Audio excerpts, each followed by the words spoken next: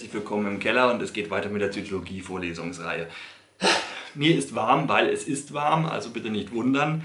Und äh, dementsprechend ist es jetzt auch schon ein wenig später, aber ich möchte trotzdem jetzt mal noch eine Weile weitermachen, zumal mein Hirn gerade ganz gut ein bisschen am Arbeiten ist. So, wir haben jetzt bisher besprochen, wie das Leben ursprünglich entstanden ist, wie der Urorganismus entstanden ist. Ich möchte ganz kurz wiederholen. Der Urorganismus hat sich durch eine Doppellipidmembran eine Zellmembran von der Umwelt abgeschottet und bei diesem Prozess hat sich im Inneren eine gewisse Konzentration eines Stoffes A, ich glaube das waren die roten Punkte, mit einem Katalysator befunden. Damit wurde der Stoff A im Inneren des Bakteriums schneller in blaue Punkte umgesetzt als außen. Damit gab es innen drin bald wenig rote Punkte und es sind von außen rote Punkte nach innen in unsere Urorganismus hinein diffundiert, während blaue Punkte sich angereichert haben und von innen nach außen hinaus diffundiert sind. Also Essen und Scheißen quasi, erster Stoffwechsel.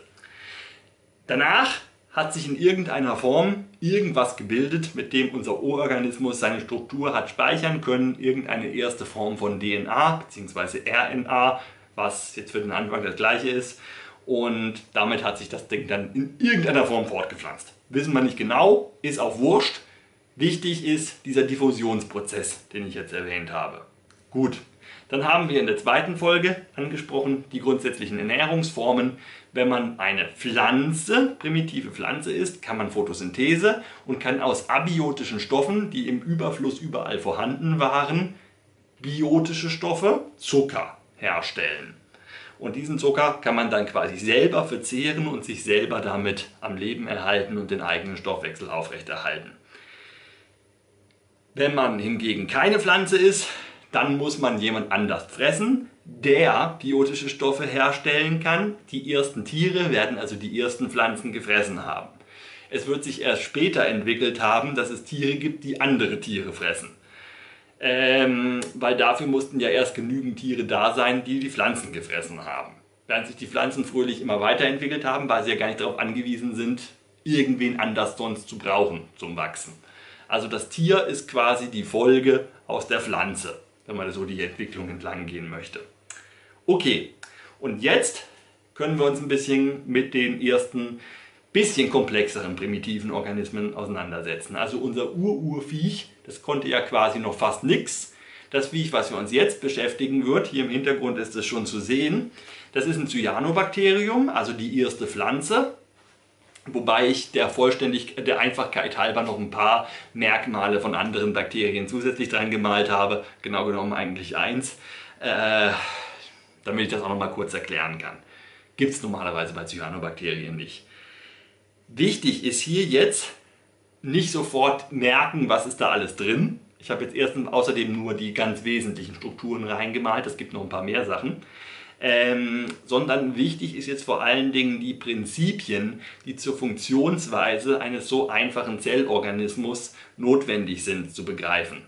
Nämlich in diesem Fall ist es so ganz grob das Grundprinzip Photosynthese und ganz grob das Grundprinzip Zellatmung.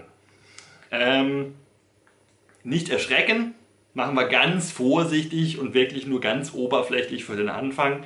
Ähm, das ist dann doch, glaube ich, relativ gut verständlich, wenn man mir aufmerksam zuhört. Äh, ich versuche auch mit so wenig Chemie wie irgendwie möglich zu arbeiten und Physik wollen wir ja eh alle nicht haben, hoffe ich. Was man jetzt noch dazu sagen muss, Bakterien sind sogenannte Prokaryonten. Das sind die einfachen Zellen. Ähm, es gibt noch andere Prokaryonten, aber alle Bakterien gehören da auf jeden Fall dazu. Die anderen ignorieren wir jetzt einfach mal. Aus unseren Prokaryonten, unseren Bakterien, hat sich dann später die eukaryontische Zelle, die Eukaryonten entwickelt. Das ist dann die gute Zelle, die moderne Zelle, die bessere Zelle. Wichtig ist in diesem Zusammenhang, alle Prokaryonten sind Einzeller. Die bestehen immer nur aus einer Zelle. Fertig. Eukaryonten gibt es auch als Einzeller. Die bestehen nur aus einer Zelle und fertig. Aber im Laufe der Entwicklung der Eukaryonten haben die gelernt, sich zusammenzuschließen und Mehrzeller zu bilden. Bestehen dann also aus mehreren Zellen. Das war an sich jetzt noch kein großer Wurf, dann war man halt mehrere Zellen. Hat jede Zelle halt trotzdem ihr eigenes Ding gemacht, nur dass sie halt aneinander geklebt haben und theoretischen Stoffaustausch zwischen den einzelnen Zellen hat stattfinden können. So. Der nächste und quasi der entscheidende große Schritt in der Entwicklung des Lebens war dann, dass die eukaryontischen Zellen, die zusammengeklebt haben, gelernt haben, hm, die eine Zelle kann was anderes machen als die anderen. Dass sie also da eine Arbeitsteilung entwickelt haben. Beispiel, eine ganz, ganz, ganz, ganz einfache Pflanze, die irgendwo im Wasser irgendwo festsitzt, sich irgendwo festhält. Die hat dann von mir aus fünf Zellen. Vier davon also von außen nach innen gesehen. Vier davon machen einfach nur Photosynthese und erzeugen Energie und sorgen dafür, dass das ganze Ding am Leben bleibt.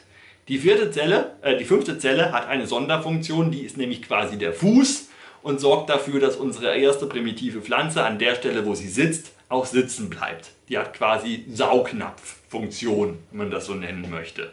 Und das ist schon eine erste Spezialisierung.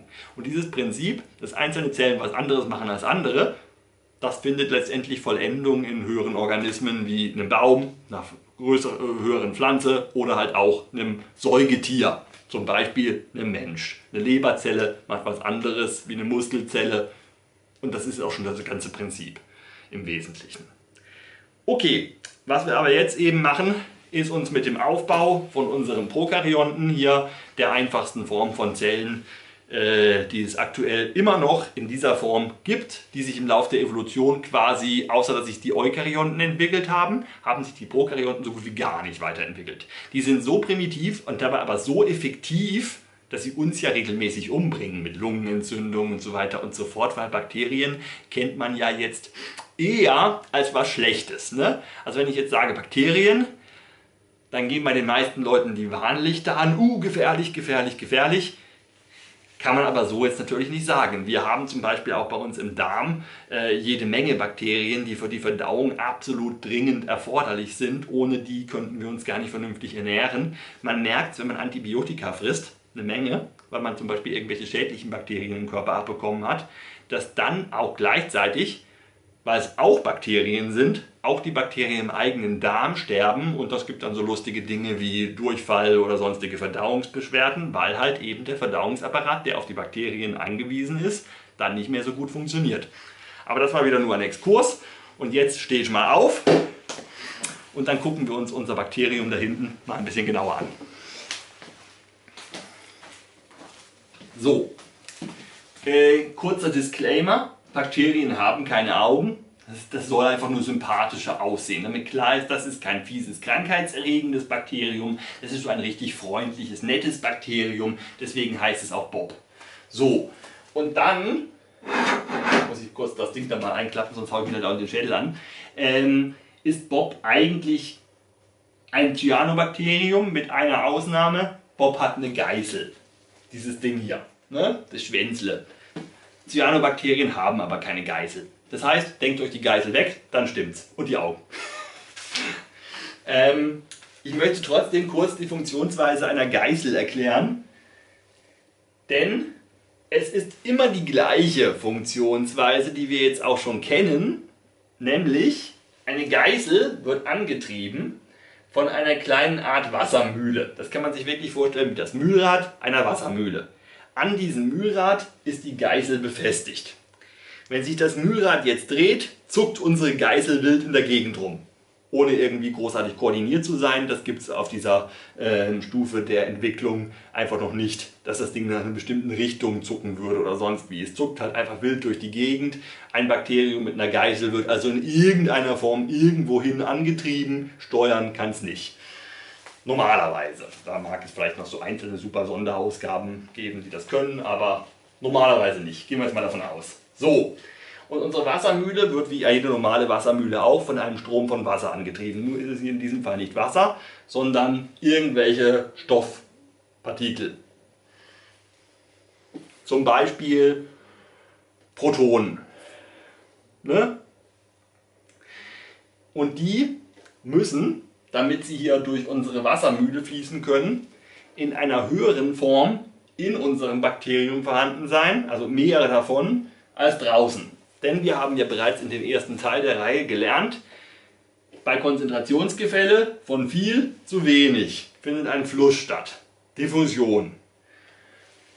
Und diese Diffusion führt eben dazu, dass unsere schwarzen Bobbelchen hier durch unsere Strickmühle fließen, weil hier drin viele davon vorhanden sind und damit wird die Geißel angetrieben. Soweit erstmal merken, kommen wir nachher nochmal kurz dazu. Jetzt haben wir in unserem Bakterien noch ein paar andere Teile, die ich mal kurz erwähnen möchte. Wir haben hier eine DNA, die ist jetzt erstmal völlig egal. Wichtig ist bloß, vielleicht für später, komme ich dann auch nochmal darauf zurück, die liegt hier einfach nur rum. Die ist nicht besonders gut geschützt, die ist nicht besonders isoliert, die liegt da einfach da und ist halt, ist halt da und steuert den ganzen Kram. Aber wie das genau funktioniert, nächste Folge. Äh, ist ein bisschen befestigt am Rande von der Zelle und ist quasi ein großer Ring, der halt so total ineinander geknüllt ist. Deshalb sieht das aus wie so ein ja, Spaghetti-Monster.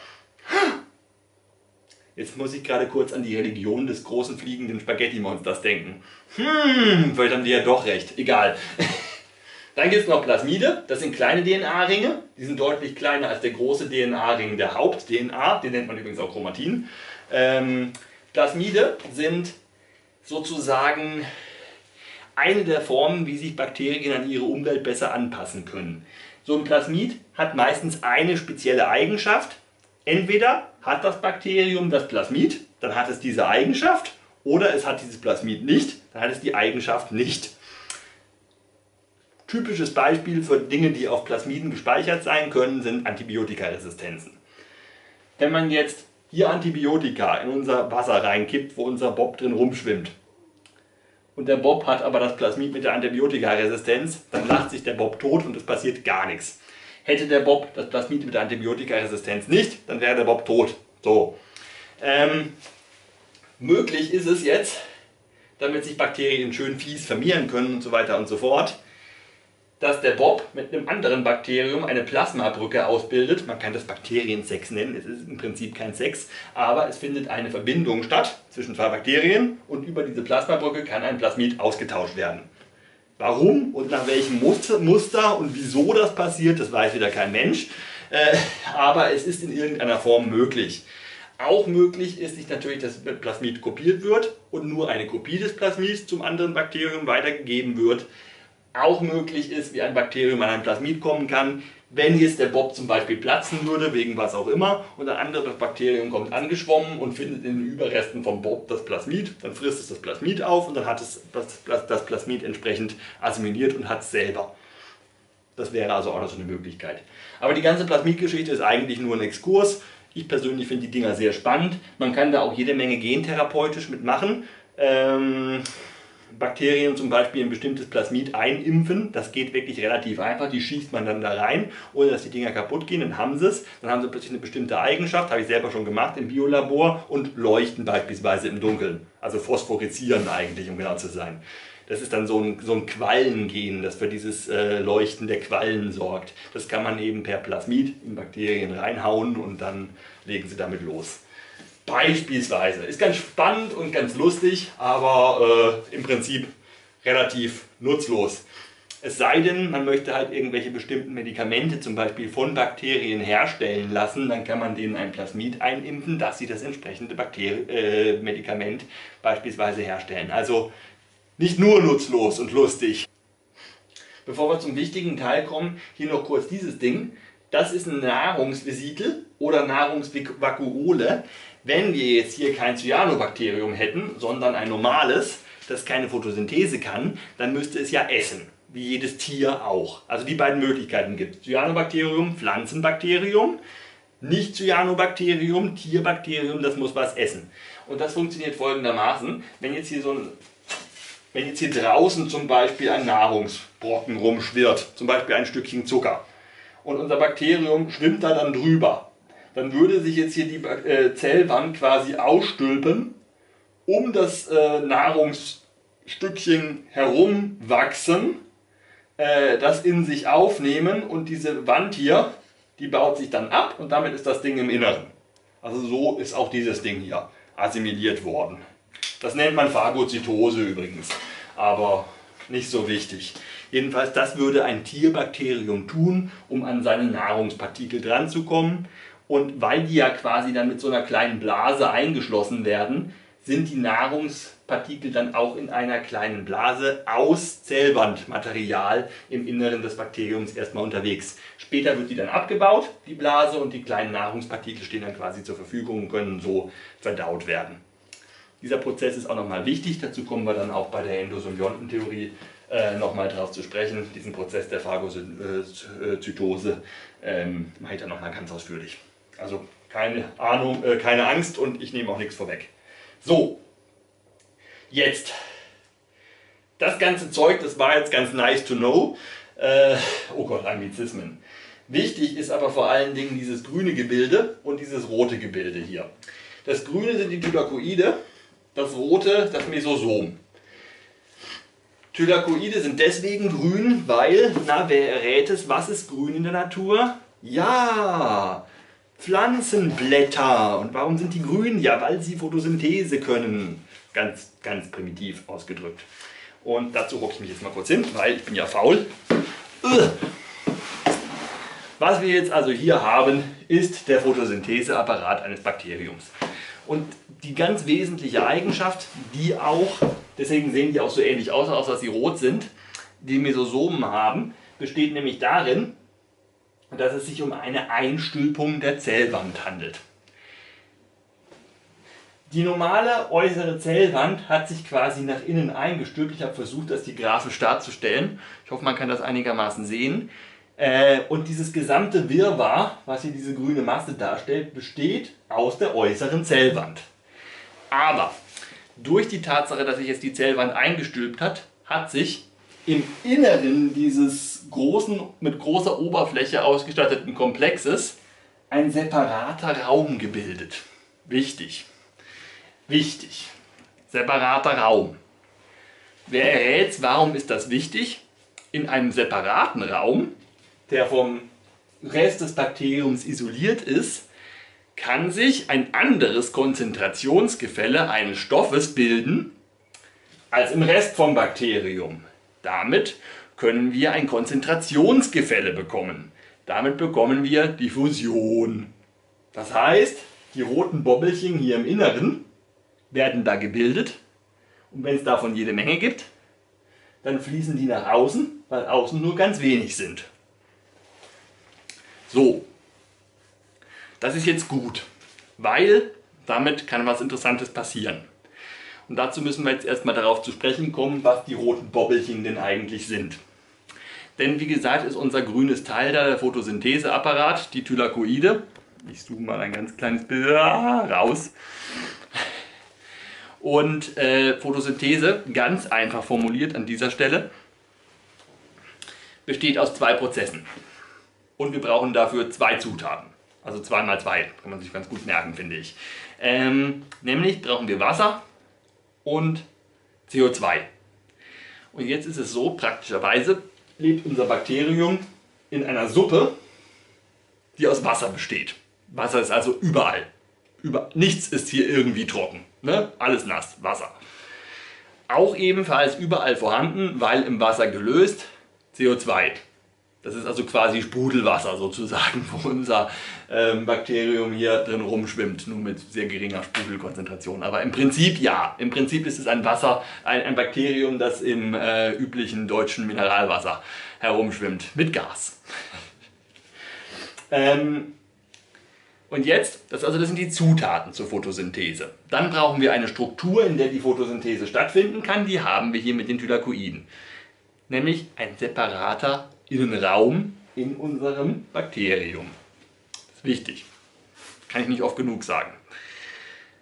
Und jetzt haben wir die zwei Prozesse, die da stattfinden. Das ist erstens die Spaltung von Wasser mittels äh, Photonen von der Sonne. Also man kann sozusagen einen Sonnenstrahl sagen, schießt hier rein und hier drin ist ja bekanntlich Wasser in unseren äh, Thylakoiden und es befindet sich darin noch ein äh, bestimmter Komplex, Photosystem, Fotosystem nennt man die Dinger, glaube ich, ja.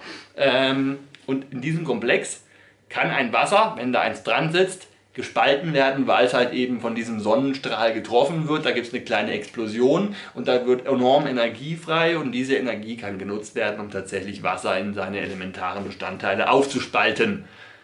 Das ist Klingt erstmal nicht so spektakulär, aber wenn wir das technisch machen wollen, das können wir inzwischen mit großen Maschinen, dann ist das enorm aufwendig und deswegen gibt es auch keinen wirklich wirtschaftlich brauchbaren Prozess, um Meerwasser zu entsalzen. Beim Meerwasser entsalzen wäre möglich, indem man das Wasser spaltet. Und das braucht enorm viel Energie. Deshalb entsalzt keine Sau Meerwasser. Das lohnt sich einfach wirtschaftlich hinten und vorne nicht. Die Photosynthese kann das umsonst. Die spalten nämlich einfach mal das Wasser auf. Und was haben wir dann? Wasser ist ja bekanntlich H2O. Wir haben dann also zwei Hs da rumfliegen und ein O. Das O ist eigentlich bloß ein Nebenprodukt. Das ist nämlich ganz interessant. Das ist Abfall. Das braucht kein Mensch. Dass bei der Photosynthese also Sauerstoff erzeugt wird, pff, Abfall. War ein interessanter Zufall, dass die Sauerstoffatmosphäre ein Abfallprodukt der Empfindung der Photosynthese ist. Wichtig sind die beiden Wasserstoffe, die da jetzt dabei rauskommen. Denn die liegen quasi nur als Proton vor. Also ein einzelnes positiv geladenes Teilchen. So, und das sind die roten Punkte. Wir haben also jetzt diesen Wasserspalteprozess im Prinzip nur deswegen, damit sich im Inneren unserer Thylakoidmembran rote Punkte ansammeln können. Und wir haben das ja schon in dem ersten Teil meiner Zytologie-Reihe gelernt, wenn irgendwo viele rote Punkte drin sind, und draußen nicht, dann diffundieren die roten Punkte nach draußen. So, praktischerweise weiß das Bakterium das auch. Und deswegen hat es überall, ich habe jetzt hier einmal so einen roten Kringel gemalt, überall auf seiner großen Oberfläche dieser Thylakoiden, deshalb sind die auch so komisch eingefaltet, damit sie eine möglichst große Oberfläche haben und damit möglichst viel Platz für so rote Krängel. Ne? Überall sind diese roten Krängel. Und durch diese roten Krängel das sind quasi die Öffnungen, wo jetzt unsere im Übermaß vorhandenen Protonen durchflitzen. Und diese roten Krängel sind jetzt nicht nur Öffnungen, sondern das sind ähnliche Wassermühlen, wie sie auch bei der Geißel funktionieren. Und die dreht sich dann, diese Wassermühle, wenn die Protonen durchflutschen. Und nun wird jetzt in diesem Fall damit keine Geißel angetrieben, sondern es werden die CO2s, die jetzt auch noch vorhanden sind, also die habt ihr hoffentlich nicht vergessen. Wir haben hier Wasser und wir haben CO2, die beiden Zutaten. Die, dieses Wasser haben wir eben gebraucht. Davon brauchen wir im Prinzip bloß die Protonen, damit sie durch diese, ähm, dieses Wasserrad, durch diese Wassermühle durchflutschen. Und die Drehbewegung dieser Wassermühle, da kommen jetzt die CO2s zum Einsatz, weil die CO2s werden aneinander gebaut durch diese Drehbewegung, ganz einfach ausgedrückt. Also quasi mechanische Energie, die die jetzt zusammensetzt. Und wenn wir sechs CO2s zusammengebaut haben und noch ein bisschen Wasser, äh, Wasserstoff dran gebaut haben, was haben wir dann? Einen Zucker. C6H12O6, Glucose. Kann man sich also ganz gut vorstellen, aus 6 CO2 und 6 Wasser wird ein C6H12O6 und nochmal 6 Wasser. Aber die Wasser sind egal. Wasser ist ja eh überall. Ne? Wir haben also jetzt einen Zucker. Und jetzt müssen wir zur letzten Folge noch mal kurz zurückdenken. Ähm, unsere Pflanze, das ist ja der Bob, der Bob ist ja quasi eine Pflanze, ist also aus der in der Lage, aus anorganischem Material, Wasser und CO2 plötzlich ein organisches Nahrungsmittel, einen Zucker, zu produzieren. Jeder Organismus auf diesem Planeten kann mit einem Zucker was anfangen. Außer vielleicht irgendwelche seltsamen Low-Carb-Diät-Menschen, die irgendein seltsames Trainingsprogramm durchlaufen und deshalb der Meinung sind, keinen Zucker konsumieren zu wollen. Aber im Grundsatz besteht die Ernährung der einfachsten Organismen bis hoch zu uns, die Zellernährung, aus einem Zuckerkreislauf. Also, wenn man es wirklich auf das einfachste Element runterbrechen möchte. Also das mal nur mal kurz für diejenigen, die der Meinung sind, überhaupt keinen Zucker mehr essen zu wollen. ähm, man kann nicht ohne Zucker leben. Der kommt dann woanders her. Wenn man keinen normalen Zucker im Sinne von Saccharose, Haushaltszucker futtert, dann nimmt der Körper sich den irgendwo anders her. Also man, es geht nicht. Zellen brauchen immer Zucker. Das nur mal am Rande angemerkt. Wir haben also jetzt hier Zucker gebildet. Der Zucker geht jetzt ins Zytoplasma von unserem Bakterium und wir haben hier jetzt eine Weile Zucker drin rumfliegen. So, was fangen wir jetzt mit diesem Zucker an? Ähm, den zu haben ist ja jetzt erstmal schön. Das Problem ist nur, nur weil wir jetzt Photosynthese können und damit Zucker produzieren können, ähm, müssen wir ja trotzdem noch weiterleben und haben trotzdem einen Stoffwechsel und haben noch diverse Dinge, die einfach Energie verbrauchen, die innerhalb von unserem Bakterium hier ablaufen sollen. Zum Beispiel will sich das Bakterium ja auch mal irgendwann fortpflanzen und dafür muss es sich selbst komplett kopieren. Also alles, was an Material hier drin ist, muss kopiert werden und das wird zusammengebaut aus Zucker. Und das Blöde ist, man kann nicht einfach den Zucker so zusammensetzen, sondern man braucht da wieder Energie, um den Zucker miteinander vernetzen zu können und zusammenbauen zu können. Also das gleiche Problem, was wir schon bei der Entstehung des Zuckers haben. Will man aus dem Zucker jetzt was weiterführendes bauen, braucht man schon wieder Energie. Immer wenn man was bauen will, braucht man erstens das Material und zweitens Energie. Das ist auch nochmal so ein wichtiges Prinzip. Wann immer irgendein Bioprotein oder irgendwas Biologisches produziert werden soll, Energie und das Baumaterial muss da sein. Deswegen, das Baumaterial haben wir. Wir haben ja Zucker. Was wir noch nicht haben, ist Energie. Und die kriegen wir hier aus dem Mesosom. Wichtig, Mesosomen haben alle Bakterien. Nicht nur die Cyanobakterien, sondern sämtliche. Es gibt kein Bakterium ohne Mesosomen. Mesosomen sind wieder ähnlich aufgebaut wie die Thylakoide. Es ist auch wieder eine Einstülpung der Zellwand, die eine möglichst hohe Oberfläche aufweist und, wichtig, wichtig, wichtig, einen geschlossenen Raum innerhalb des Zytoplasmas unseres Bakteriums bildet. Ähm, und in diese Thylakoide wird jetzt ganz einfach formuliert der Zucker geliefert. Und was da jetzt stattfindet, um Energie zu erzeugen, ist quasi wieder der Rückprozess der Photosynthese. Bei der Photosynthese wurde Wasser gespalten, um Zucker aufzubauen. Bei der, Foto, äh, bei der Atmung wird Zucker abgebaut, um Wasser zu spalten. Babab. Und dabei wird das frei, was wir vorher gebraucht haben, um den Zucker aufzubauen, nämlich CO2. Und was wir eben quasi als Abfallprodukt bei der Photosynthese ausgestoßen haben, ihr erinnert euch, Wasser, äh, also Sauerstoff, ne? Die beiden Wasserstoffe, die haben wir gebraucht. Den Sauerstoff, der war ein Abfallprodukt.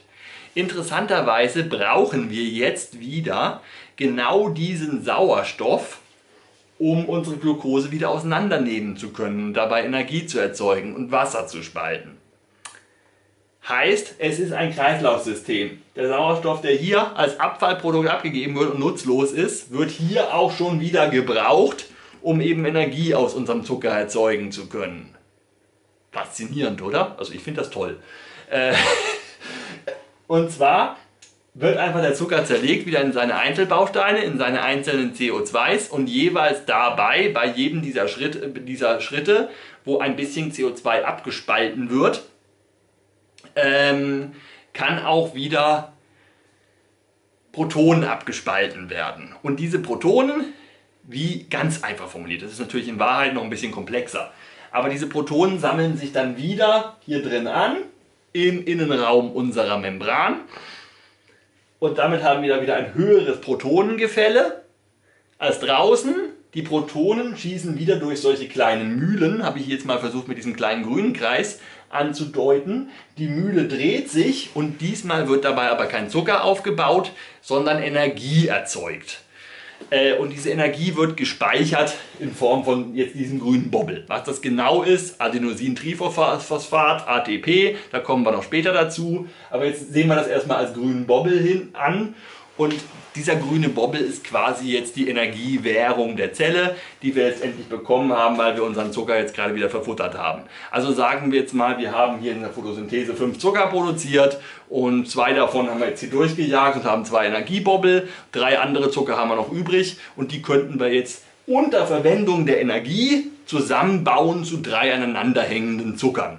Also einem Dreifachzucker. Macht keinen großartigen Sinn, könnten wir aber tun. Und das ist es im Prinzip. Das ist also ein standardisierter, einfacher Stoffwechselvorgang, der in unserem Bob so an einem schönen Sonnentag, wenn der Bob so gemütlich in seiner Kloake rumschwimmt, so ablaufen könnte. Ja.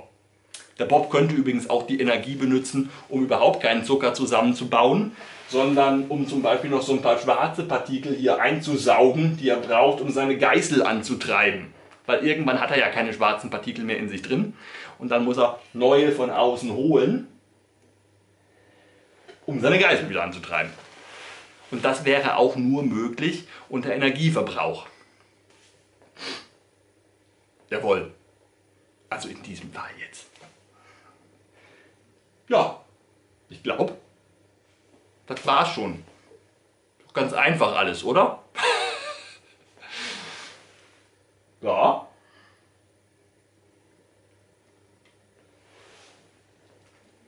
Und das nächste Mal widmen wir uns dann der DNA und ich gehe jetzt schlafen. Ich glaube, es ist irgendwie halb zwölf oder sowas. Bis zum nächsten Mal. Lasst euch nicht betüxen.